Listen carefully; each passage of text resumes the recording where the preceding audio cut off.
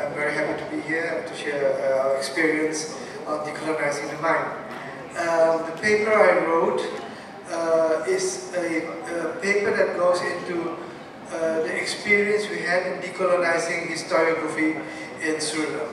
But my introduction goes beyond that paper, uh, uh, and I will deal with the theoretical framework which we are developing in, for decolonizing the mind, develop a theory of decolonizing the mind. Now that theory has been developed not as an academic exercise. It has been developed in conflict. It has been developed as a war between two schools of thought in the Netherlands. And the school of thought which I designed uh, and I termed scientific colonialism and uh, decolonizing the mind as the two schools. Now, the war started uh, because of uh, one professor, uh, there are very many arrogant white professors in the academia who think that uh, uh, their oh, okay,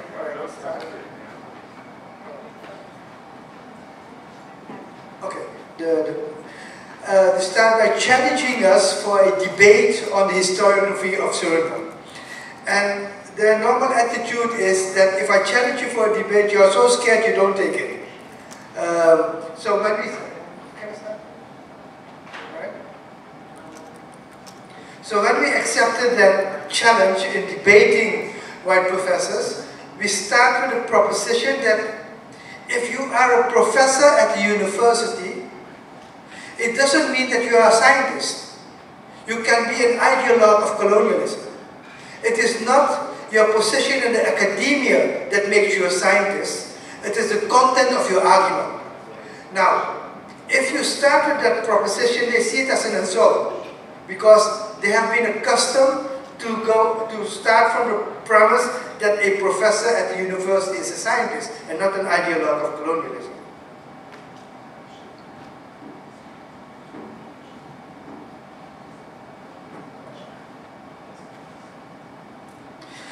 Okay, um, going into those debates, we started criticizing, very factual, and the paper goes into some of this criticism, of what is wrong with the historiography uh, of, of the Dutch regarding Dutch colonialism and extended uh, further to the historiography of Western uh, colonialism. And uh, what we have then developed concepts which have been derived from knowledge producers which are not recognized as knowledge producers in the West. Because knowledge producers in the West are academics at university who conduct research. But we argue that activists and artists produce concepts to understand history and understand social relations, although they never have gone through the educational system. And we use those concepts, apply it in analysis of uh, uh, social and historical situation, and develop it into a theory. Now, one of these concepts regards epistemology. So, uh, in the West, you will have a lot of discussions of what is truth. And uh, you will have concepts like we are discussing if there are multiple truths, if there are uh, pluriversal truth, that you have your truth and my, I have my truth. And we start with the epistemology developed by activists that says we might not know what the truths are, but we certainly know what lies are. So we started looking at the lies which people have produced, and from those lies we developed the alternative concept and alternative framework. Now let me give you, uh, the paper go through a, a few examples and I'll let you know what the differences are in our approach.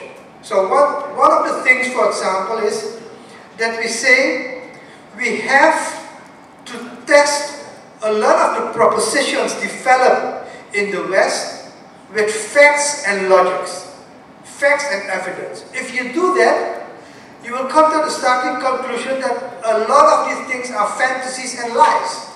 So let me give you the example in the historiography of slavery. In the historiography of slavery, uh, the abolition of slavery is uh, uh, uh, uh the, the, the cause of the abolition of slavery is ascribed to the abolitionist movement in Europe. The abolitionist movement, because of their moral high standards, have waged campaigns and enabled the, the Europeans to abolish slavery. Now there's a discussion and a debate going on. C.L.R. James and Eric Williams, who argue that the abolition of slavery, the legal abolition of slavery, is because of economic factors, right? So the, the thing is there. So in the British historiography, the question is, is it due to economics or is it due to morality? Now, uh, the Dutch didn't have any abolitionist movement. So the question is, why then did the Dutch abolish slavery while there is no abolitionist movement? Now there's a professor called Gert Oostindie, who I debated, who says it is because of indifference. Not because of economics, because of indifference. So we test this hypothesis by logic and say indifference is not the motive. Greed is a motive, you know, love is a motive, but indifference is not the motive. So logically it's nonsense to say that people act out of indifference. It means indifference, you don't act, you don't care. The second thing is, if we're talking about evidence, we go back to the historical sources and look why the Dutch politicians at that time abolished slavery. And it appears that they take into account material conditions because the slave population was uh, uh, uh, going down uh, and if they didn't import indentured labor from uh, India, uh, the, the slave system wouldn't survive. And in fact, they wanted the compensation of the uh, enslaved enslavers to be done by the enslaved. Now these are facts. So we test the facts, but we move a, a, a, a point further by looking at the question of abolition in a general framework and take up the concept that Malcolm X has developed. And Malcolm X says, if you stick a knife in my back, nine inches, and you pull it out oh, three inches, you haven't done me any favor. So, if we look at abolition, then we see that the abolitionists didn't pull out the whole knife. They pulled it out three inches.